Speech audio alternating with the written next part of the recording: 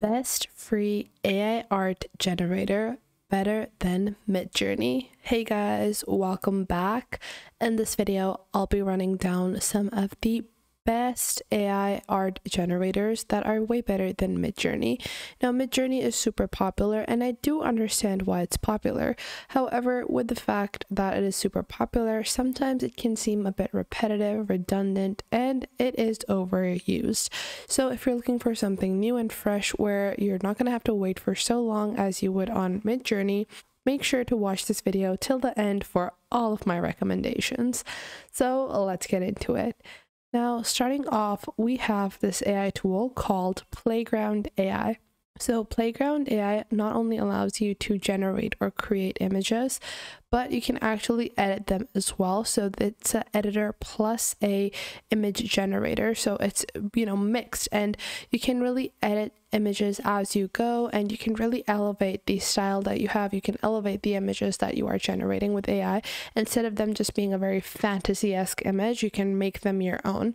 To get started, all you have to do is head on over to Playground AI and you can sign in to create your first image. Just sign in with your Google account over here click on continue.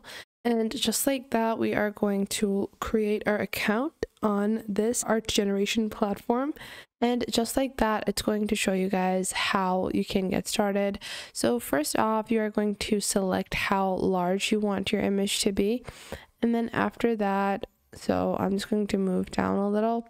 Now from here, you can press tab and describe the image, or you can just select the text box and describe the image you want to create. Now, one thing I always recommend is go into ChatGPT and ask ChatGPT to make a detailed version of your prompt. So, generate a detailed version of my prompt to create a image of a fluffy white cat sitting in a lawn um, surrounded by flowers and trees, mystical and fantasy like this. Now, what ChatGPT will do is that it will provide you with a detailed version of your prompt. Now, you can always ask it to summarize the prompt. Um, so I usually let it generate the entire thing and then I go on ahead and summarize this into 10 lines or less.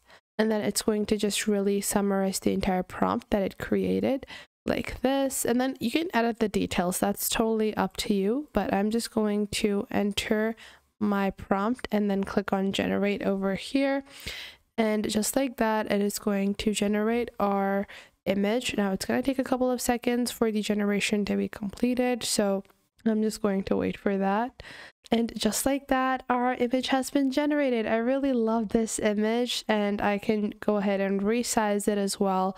You can increase the size, you can decrease the size, and if I want to maybe include something else, so on the top, maybe at this particular section, add roses here like this, and I want to outpaint. Now, in this particular section, it's going to start adding roses within my existing image. It's going to generate within that image. Now, this feature is great when you are looking to build larger images. If you're looking to build backgrounds, buildings, you know, large landscapes, all of that can be added. And you guys can see it has now expanded upon our original image to just show it entirely to you guys. You guys can see now it's expanding and you can just so on and so forth, keep on generating and build huge, amazing illustrations. Now, moving on to our next tool, we have AI with Meta. Now, a lot of people might have heard of this. It is a nice little tool to use. It's not available everywhere yet, but it's a great way to get started for free. Then we have Lexica Art. So, Lexica Art is also another amazing tool. You can just put in your particular prompt. So, we're going to continue with Google over here to get started. And for most of these image generation platforms, you do have to sign up before you can start generating images. So I'm just going to continue on over here, click on over here. And then one thing that you can also do is put in a negative prompt. Now, a negative prompt is when you don't want to include something. So don't include maybe birds like this. So if I don't want birds, I can put that in a negative prompt and that won't be included. And on the top right, you can choose the size you want like this.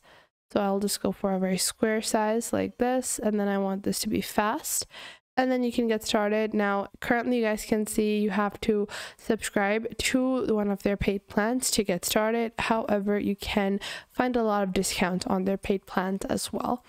Now moving on to our next platform, we have Synthesis. So Synthesis is a Chrome extension that allows you to create versions of any image that you find.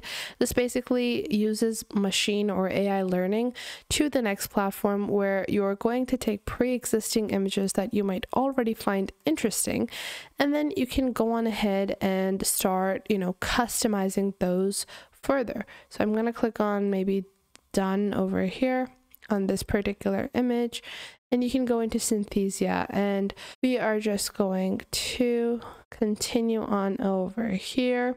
Now we are just going to go for their tutorial because, you know, without going through the tutorial, you can't use the application. So we're just going to open up Unsplash, take any image, and then we can go on ahead download that and you know start using the synthesia editor to get started.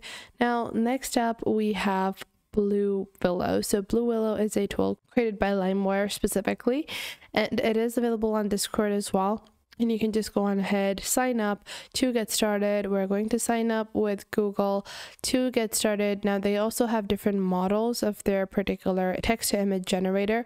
So you can use a particular model for a particular art style as well. So we're just going to go on ahead and we're going to stay on their free plan. I'm going to be using the Blue Willow version 4 and I'm going to add, you know, I've added the same prompt and it looks really good. I really like this image generation as well. So we have this version. We also have a previous version of this image as well. Now, we can compare both of these, you know, and choose the one you like better. Now, you can really customize these. Obviously, the more detail you provide, the better your generations will be. Now, moving on to our next platform, we have Pollination. So, Pollination is a tool where you can use it with ChatGPT. Plus, you can also just create directly on their website. So, you can put in your prompt, and just like that, it has generated my image. Now, the thing about Pollinations is that it can really create realistic, hyper realistic images really well. So, I like to specifically use it in that use case. And you can ask it to build more fantasy-esque image but with their machine learning ai it's really good at realistic images and that's what i would recommend it for now my last two recommendations include a night cafe so i'll show you guys how you can go on night cafe and on night cafe you actually have different styles you can actually choose a style so you can choose what kind of style you want. I like to go with Night Cafe. That's my personal style that I like to use over here. It's the best one, but they have multiple different models and styles available. You guys can see over here. Now, one thing to remember is that even in their prompts, they do tell you that the longer prompts are going to have a lesser effect at the end of the text. So if you write a really long paragraph, the lower half of the paragraph is not going to be as impactfully displayed in the image generation, but I still really do like this illustration as well. And at last, we have Hotpot AI, which can also generate different styles of images and has multiple different prompts you can add and a credit system. So I hope you guys found this video helpful and you are now able to generate amazing images with AI as well. If you did, make sure to leave a like and subscribe.